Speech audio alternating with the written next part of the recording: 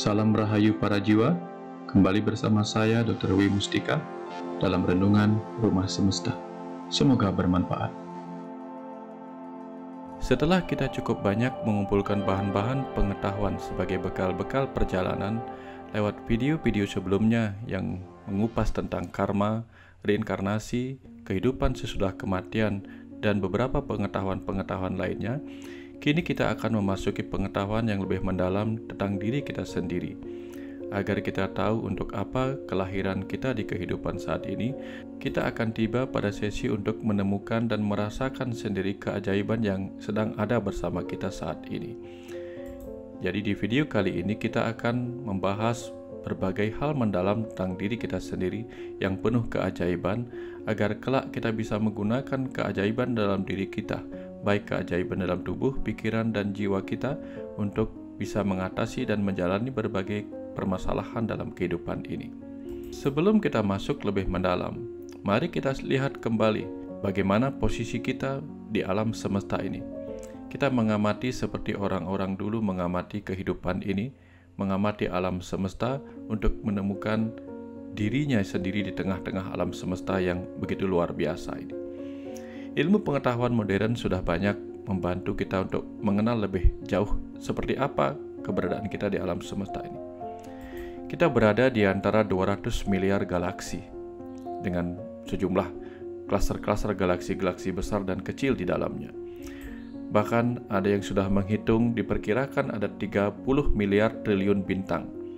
Bayangkan pada 30 miliar triliun bintang, seandainya satu bintang terdiri dari satu planet, maka kita berada di antara 30 miliar triliun planet. Dan kita tiba di sebuah planet kecil bernama Bumi. Kita bisa lihat tempat kita berada saat ini adalah di Bumi ini, sangat kecil di dalam tata surya ini dibandingkan planet-planet Jupiter, Uranus, Neptunus, atau yang lainnya. Sementara matahari kita sendiri ada di tengah-tengah galaksi Bima Sakti. Kita berada di sebuah tempat di sini, matahari kita. Bayangkan, dibandingkan galaksi Bima Sakti, kita sangat-sangatlah kecil. Sementara galaksi kita sendiri berada di antara 200 miliar galaksi, bisa dibayangkan. Tapi kemudian, dari semua apa yang diajarkan oleh ilmu pengetahuan modern ini, dengan penelitian-penelitian ke antariksa, lalu ada sebuah kitab-kitab pengetahuan yang diturunkan kepada kita yang mengajarkan kepada kita, yang memberi motivasi kepada kita bahwa manusia itu adalah makhluk Tuhan yang paling sempurna, makhluk termulia, sebuah kelahiran yang utama bagi Sang Roh, dan juga berkah bagi Sang Roh ketika kita bisa berada dalam tubuh manusia ini. Juga manusia ini disebut sebagai miniatur alam semesta atau kita disebut buana alit namun pada kenyataannya dari semua bahasa-bahasa memotivasi seperti itu, kita tahu bahwa kebanyakan kita saat ini benar-benar hidup di dalam kehidupan yang penuh dengan kegelapan. Kita terancam oleh berbagai macam bentuk-bentuk kegelapan di kehidupan ini. Kita gelap oleh belenggu-belenggu ego dalam diri kita. Sehingga keseharian kita pun penuh dengan kegelapan, penuh dengan keluhan dan masalah. Dalam kegelapan hidup ini, kita tidak bisa melihat apa yang terjadi dengan gamblang di masa lalu. Bahkan kita tidak bisa menyadari dengan baik apa yang sedang kita hadapi di masa kini. Apalagi untuk mengetahui apa yang akan terjadi di masa depan. Benar-benar gelap. Gelap pada ruang dan waktu yang sedang kita hadapi sendiri. Bahkan kita tidak mengenal diri kita sendiri. Jadi dalam keadaan yang begitu gelap ini, di satu sisi ada ajaran pengetahuan yang mengatakan bahwa kita adalah makhluk yang paling sempurna, paling mulia, paling utama, berkah bagi sang roh yang sedang ada dalam tubuh kita ini. Benarkah demikian? Apakah kita perlu mempercayai ajaran itu atau perlu mempercayai ilmu pengetahuan atau justru kita perlu menggabungkan dan mengupas semua pengetahuan-pengetahuan dari berbagai sudut pandang itu sehingga kita menemukan irisan tentang kebenaran sejati tentang siapa diri kita. Maka kita perlu bertanya di awal, siapakah sesungguhnya diri kita? Ketika kita mulai bertanya tentang siapakah sesungguhnya diri kita, maka kita akan perlu sekali untuk membahas mendalam semua hal tentang diri kita, tentang apakah tubuh yang sedang kita tempati saat ini. Apakah pikiran yang ada di dalam ini? Apa pula ego yang sedang berbisik-bisik dalam diri kita ini? Dan apakah sang jiwa di dalam diri kita ini yang memberi hidup kepada kita? Nah, untuk bisa melihat semua ini, kita akan mulai mengupas di bagian apakah tubuh ini. Nah, untuk mulai mengenali apakah tubuh ini, apakah yang ajaib pada tubuh ini, kita perlu melihat kembali siapa diri kita di alam semesta ini. Ketika kita melihat bagaimana alam semesta ini begitu luar biasa sempurnanya tercipta, kita akan benar-benar dikagumkan oleh begitu indahnya bentuk-bentuk galaksi ini.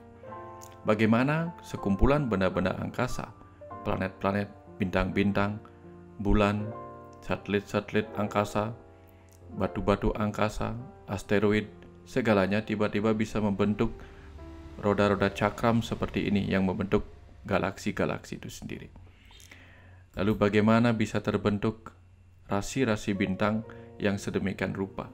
Siapakah yang menempatkan bintang-bintang tersebut pada titik-titik sedemikian rupa di angkasa sehingga tampak begitu indah, tampak begitu penuh makna?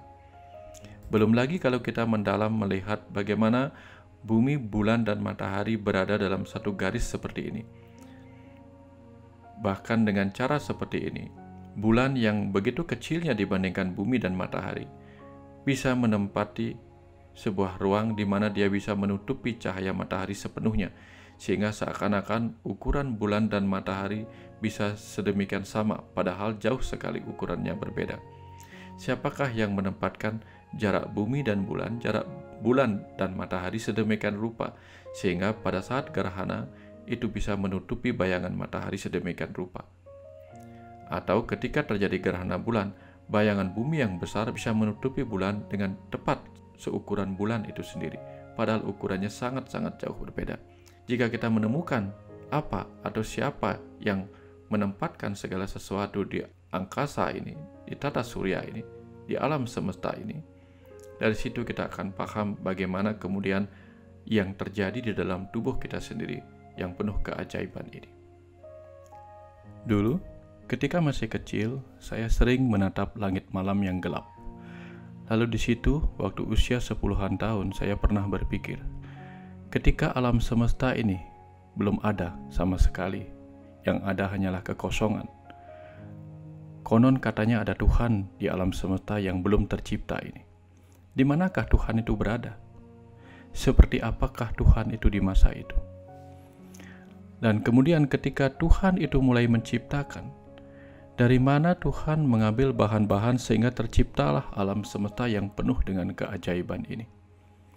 Dari mana Tuhan mengambil bahan-bahan untuk menciptakan bintang-bintang, planet, asteroid-asteroid, atau benda-benda angkasa lainnya?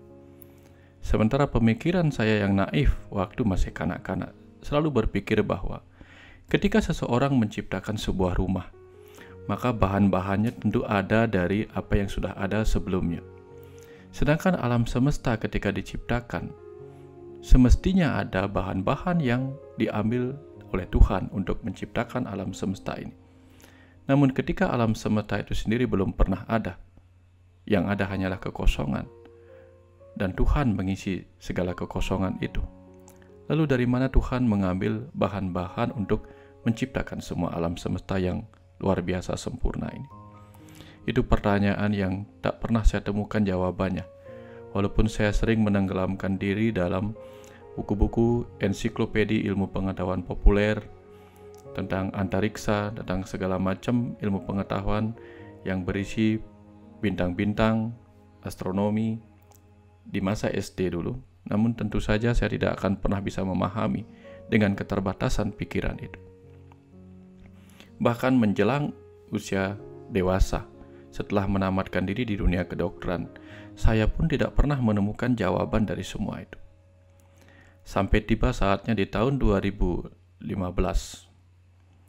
saya dialirkan sebuah pesan tentang bagaimana alam semesta ini diciptakan. Di situlah saya mengerti bahwa ketika alam semesta ini belum ada sama sekali, ketika yang ada hanyalah kekosongan, Di situlah kekosongan itu terisi oleh kecerdasan semesta tak terbatas. Ya, hanya ada kecerdasan semesta tak terbatas yang mengisi segenap ruang kosong di alam semesta ini, yang kemudian disebut sebagai Sang Pencipta. Tapi Sang Pencipta tidak akan disebut Sang Pencipta jika tidak menunjukkan kemampuannya untuk melakukan usaha penciptaan. Dari sinilah kemudian usaha penciptaan itu mewujud sebagai energi. Maka dari kecerdasan semesta tak terbatas yang tak berwujud, yang abstrak, namun ada mengisi segenap kekosongan di awal alam semesta ini. Kemudian menunjukkan kemampuannya, di situlah kemampuan melakukan usaha penciptaan disebut sebagai energi semesta. Nah, dari situlah kecerdasan semesta kemudian mewujud menjadi energi semesta. Ada energi suara, ada energi cahaya, ada energi elektromagnet dan berbagai bentuk-bentuk energi lainnya. Selanjutnya energi semesta itu memadat. Memadat menjadilah materi semesta. Materi semesta yang terkecil disebut sebagai atom oleh para fisikawan di masa itu. Nah, inilah yang kemudian dialirkan pengetahuan-pengetahuan lanjutannya yang kemudian terkumpul menjadi sebuah buku berjudul Rahasiamu, Rahasiaku.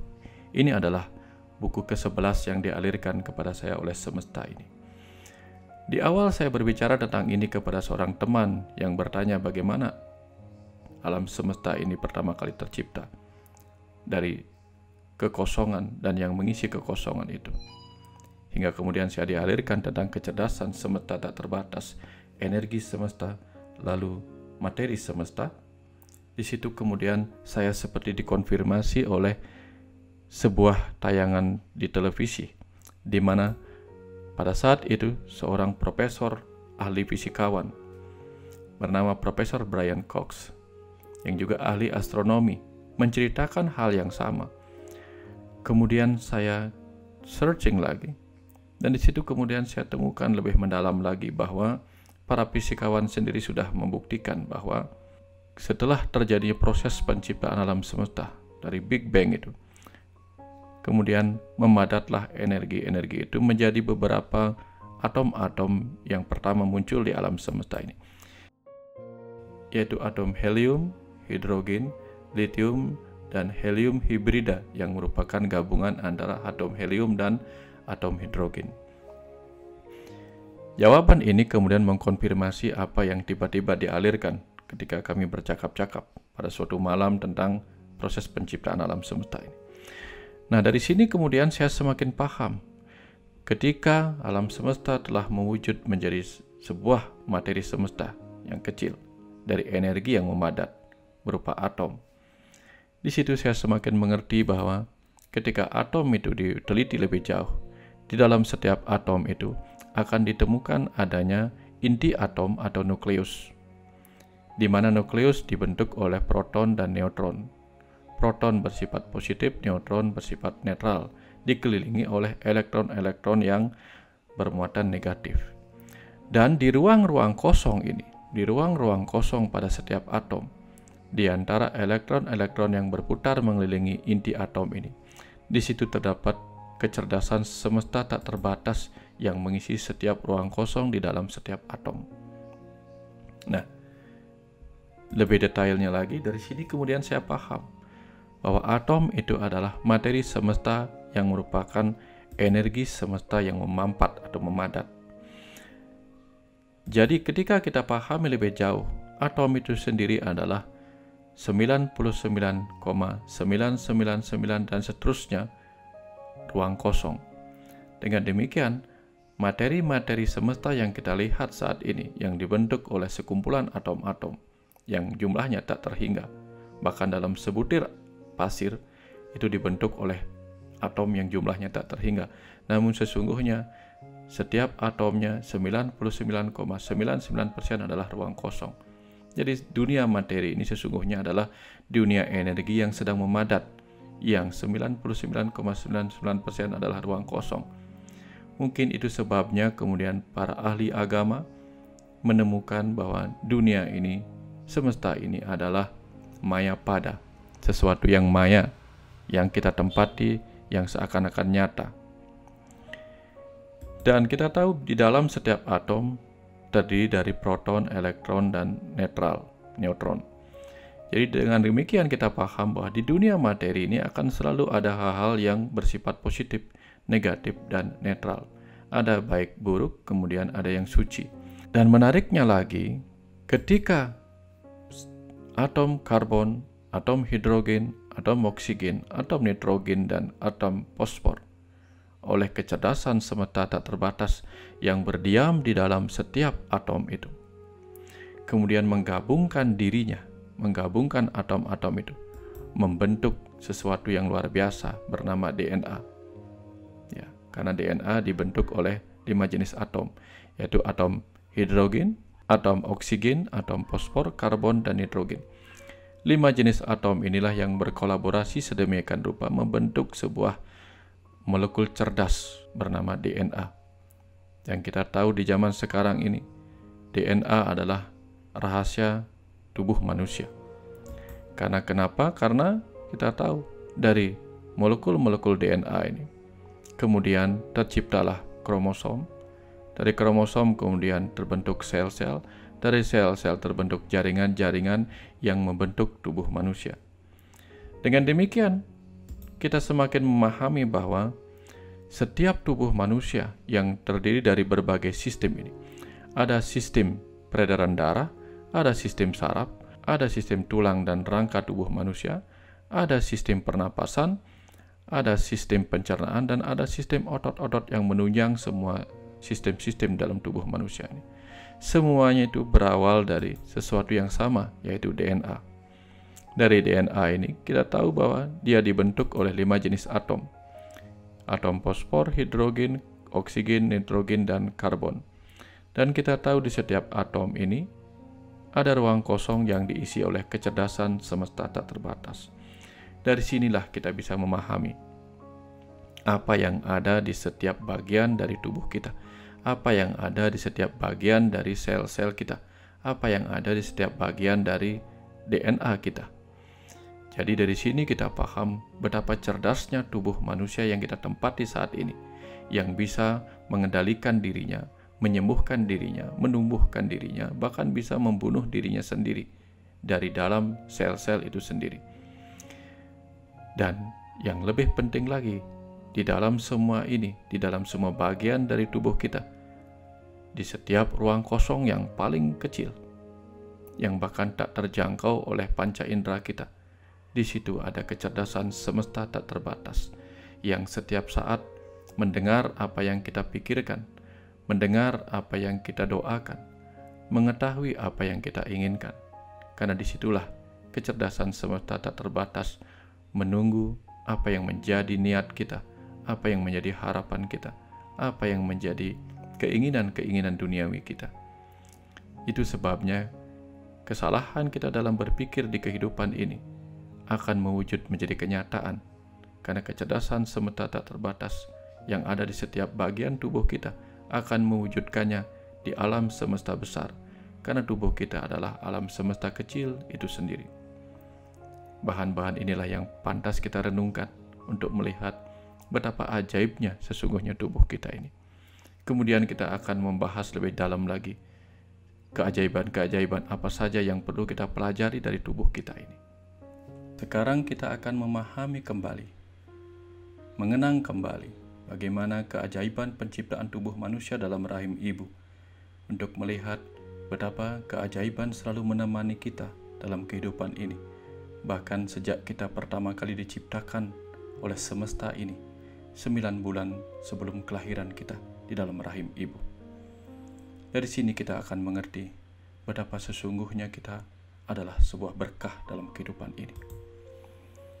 Semua itu dimulai dari ketika kita dilepaskan oleh ayah kita sebagai benih-benih kehidupan yang disebut sebagai sperma untuk kemudian memasuki tubuh ibu dan bertemu dengan sebagian diri kita yang datang dari ibu berupa benih-benih kehidupan yang disebut sel telur ibu. Di sinilah kemudian kita akan melihat betapa beruntungnya kita karena kita ditemani oleh keajaiban. Pertama kali kita dilepaskan oleh ayah ada 300 juta benih-benih kehidupan yang begitu kecil, rapuh, dan hanya memiliki energi untuk bisa bertahan hidup, tidak memiliki apa-apa, tidak bisa berdoa, hanya bisa pasrah, berserah kepada energi yang menuntun kita untuk menuju kepada tujuan kita, yaitu bertemu sel telur ibu. Dan di sini kita dihadapkan pada dua pilihan. Apakah akan menuju saluran indung telur yang kiri apa yang kanan? Kita sudah harus belajar memilih kehidupan ini. Karena salah memilih akan membawa kita pada kematian. Dan ketika kita bertemu sel telur ibu, ada jutaan sel sperma yang masih bertahan untuk merebut satu kehidupan. Kita tidak memiliki kuasa apa-apa selain menyerah. Dan satu di antara semua itu adalah sperma yang bercahaya, dalam arti adalah sperma yang penuh semangat kehidupan untuk mencoba terus berjuang menembus sel telur ibu. Begitu satu di antara jutaan sel sperma itu berhasil menembus sel telur ibu. Di situ kemudian sel telur ibu akan menutup dirinya. Sona velusida yang membungkus sel telur ibu akan mengeras agar sperma-sperma lain tidak berhasil menembusnya. Dan kita yang berhasil memenangkan pertempuran itu akan mengalami sebuah proses pembelahan yang mengagumkan yang menyebabkan tubuh kita mulai diciptakan dengan penuh keajaiban. Lihatlah bagaimana proses di dalam sel telur ibu berlangsung sedemikian rupa, mengagumkan penuh keajaiban. Bagaimana proses penciptaan ini menciptakan pembelahan-pembelahan kromosom-kromosom, proses pembelahan ini begitu mengagumkan. Dan kita tidak bisa mengerti dengan pikiran sadar kita apa yang menyebabkan itu terjadi. Ketika kita sudah memahami adanya kecerdasan semesta tak terbatas yang berdiam di setiap atom yang membentuk DNA pada kromosom-kromosom itu, di situ kita akan mengerti bahwa Tuhan sebagai kecerdasan semesta tak terbatas sudah bekerja dalam diam di tengah ruang kosong yang mengisi setiap DNA.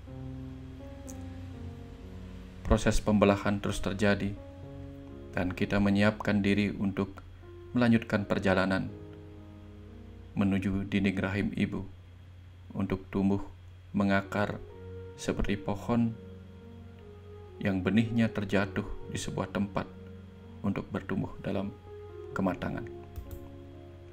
Dan inilah yang terjadi di dalam rahim ibu. Kita memulai diri kita sebagai sel yang telah membelah menjadi sigot. Satu sel yang kemudian terus mengalami proses pembelahan sambil meneruskan perjalanan menuju dinding rahim ibu. Pada 30 jam kemudian kita sudah menjadi dua jenis sel. Pembelahan yang terus terjadi di dalam zona pelusida pembungkus telur. Keajaiban ini benar-benar mengagumkan ketika kita mengenangnya kembali. Pada 40 jam kemudian kita telah menjadi empat sel. Dari satu sel menjadi dua, dua sel menjadi empat, lalu dari empat menjadi delapan sel pada hari kedua setengah. Demikian seterusnya dari delapan menjadi enam belas berlipat-lipat dengan penuh keajaiban dan kita tidak tahu bagaimana itu terjadi. Siapa yang mengendalikan itu?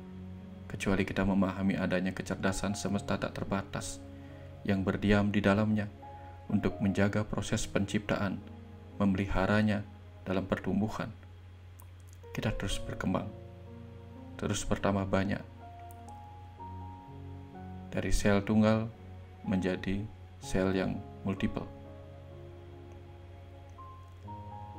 Kita menjadi morula pada hari ketiga. Embrio ini akan terus berkembang ketika menemukan tempat yang tepat di dinding rahim ibu. Ketika kita salah menempatkan diri kita di dinding rahim ibu, maka kita bisa mengancam kehidupan kita ketika tiba saatnya kita memasuki jalan lahir. Kita tidak tahu siapa yang menentukan akan menempel di mana kita di tempat itu. Kita tidak tahu akan menjadi apa kita dalam perkembangan berikutnya. Kita telah menjadi blastosis pada empat setengah hari kemudian. sebuah sel yang sudah siap untuk berkembang menjadi janin di dalam rahim ibu yang penuh kehangatan, yang penuh nutrisi. Lihat betapa kita penuh hutang piutang kepada seorang ibu ketika kita masih sangat-sangat kecil hingga akhirnya terlahir sebagai sebuah semesta kecil dalam kehidupan ini.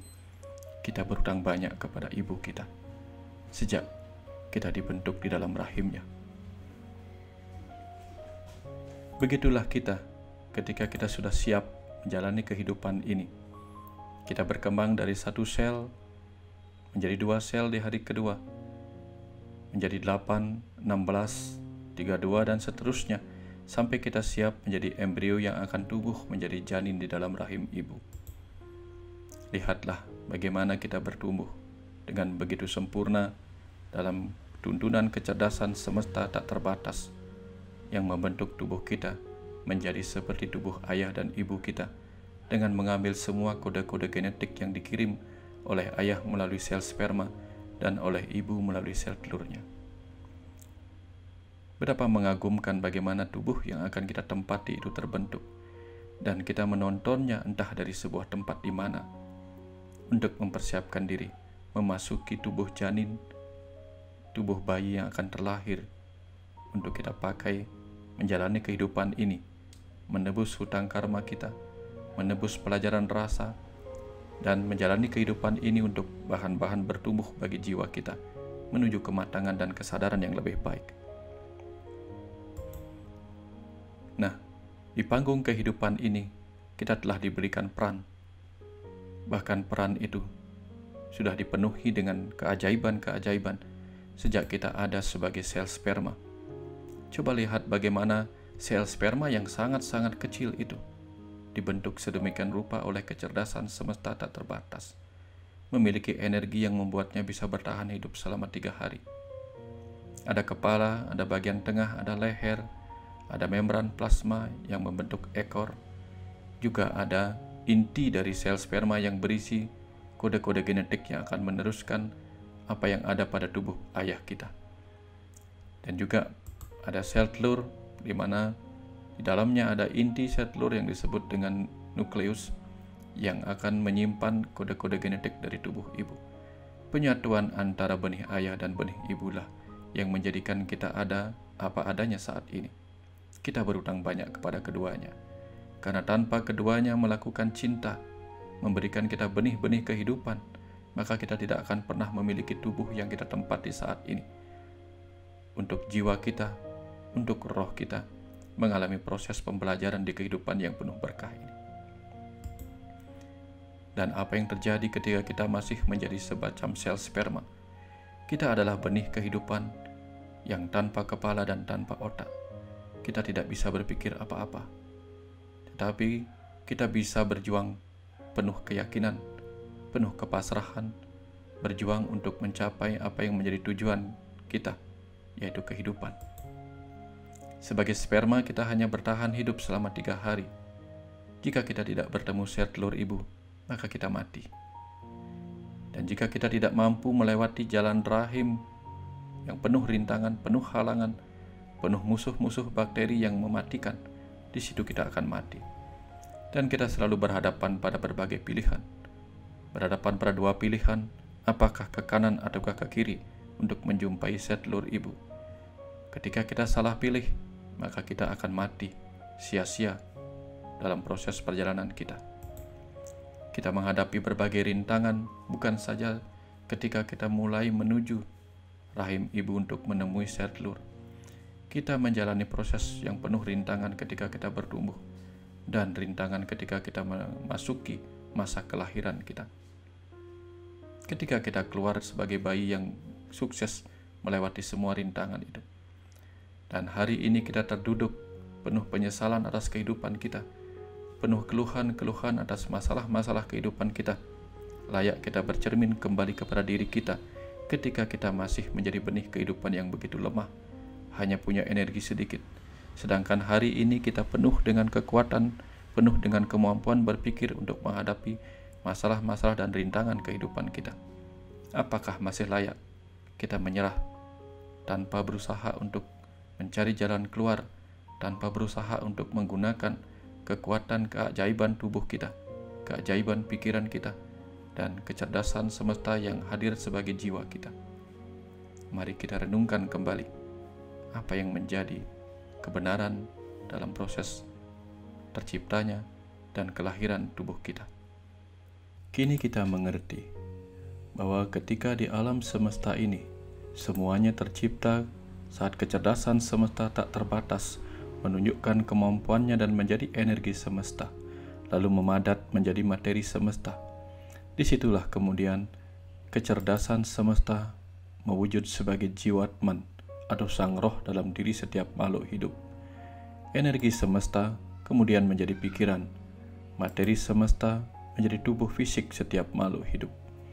Dan kita sebagai satu di antara makhluk hidup yang bertubuh manusia, tubuh kita adalah materi semesta Pikiran kita adalah energi semesta, dan sang roh dalam diri kita adalah percikan kecerdasan semesta tak terbatas.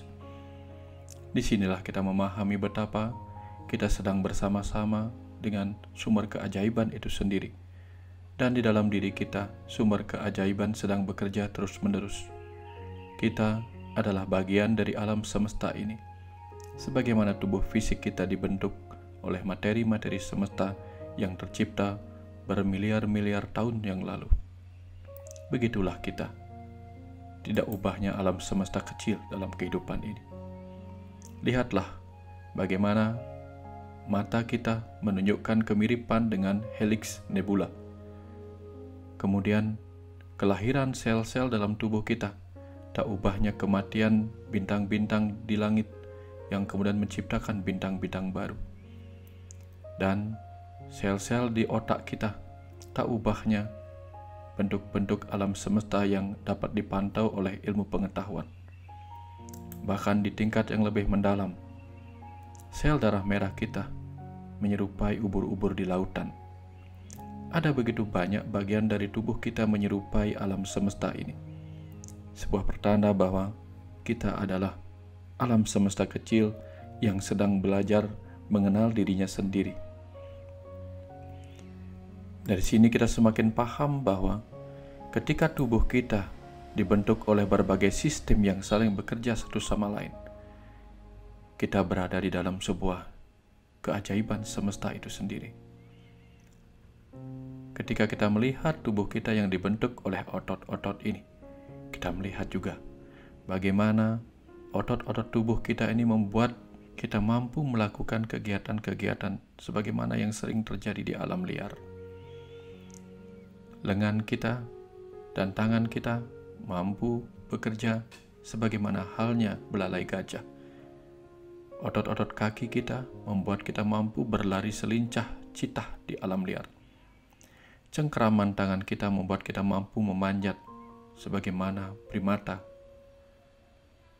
Seluruh sistem dalam tubuh kita bekerja sedemikian rupa. Penuh keajaiban, mengagumkan. Dengan demikian, adakah kesempatan bagi kita untuk menyesali kehidupan apa pun yang sedang kita hadapi saat ini? Sedang kita berada di dalam tubuh yang penuh berkah keajaiban. Bersama sang sumber keajaiban itu sendiri, kecerdasan semesta tak terbatas. Lihatlah, tubuh kita mampu menjaga keseimbangannya.